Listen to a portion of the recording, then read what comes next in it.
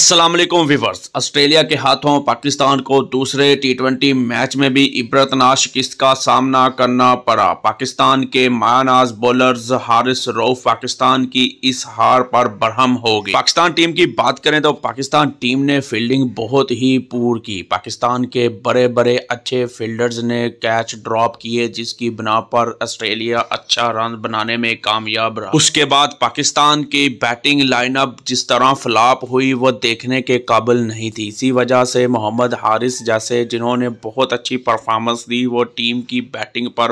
ہو کی اوپننگ نے بہت ہی اچھا کیا تین میں رنز بنا لیے